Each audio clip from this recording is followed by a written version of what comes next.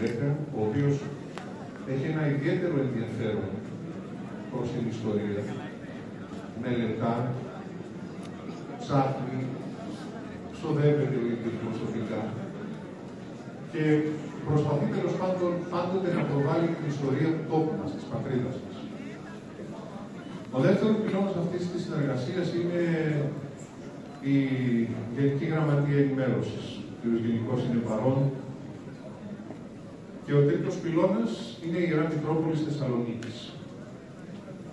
Απετέλεσε αυτή η έκθεση καρπό αυτής της συνεργασίας, αλλά και ταυτόχρονα εκπλήρωση της ιδέας του Υπουργού, κ. Γιουλέκου, ο οποίος θέλησε με αυτόν τον τρόπο να ανοίξει το κτίριο στους πολλούς και μάλιστα μέσα από αυτή την έκθεση να δώσει την αφορμή σε όλους μας, ώστε να γνωρίσουμε κομμάτια της ιστορίας του τόπου μας, ώστε μέσα από τη γνώση της ιστορίας να μπορέσουμε να ωφεληθούμε και να μπορέσουμε να πορευτούμε προς το μέλλον.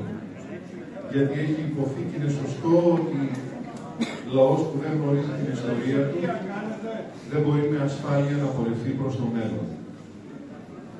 Όμως η ιστορία υπάρχει όχι μόνο για να μας υπενθυμίζει ένα ένδοξο παρελθόν ή για να συνειδητοποιούμε τραγικές καταστάσεις του παρελθόντος, αλλά κυρίως για να μπορέσουμε όλοι μας μέσα από την ιστορία του παρελθόντος να υπομνηματίσουμε το μέλλον μας.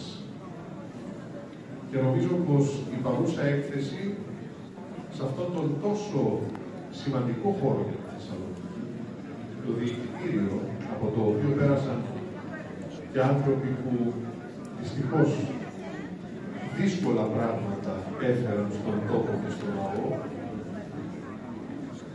νομίζω ότι μπορούμε όλοι μας ουσιαστικά να ωφεληθούμε και ουσιαστικά να υπομνηματίσουμε το μέλλον μας.